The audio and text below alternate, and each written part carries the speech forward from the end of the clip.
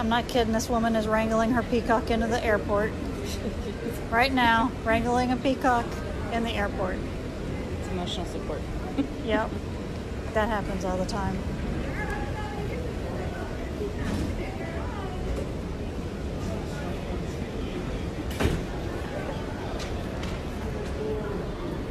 That just happened. What the hell, New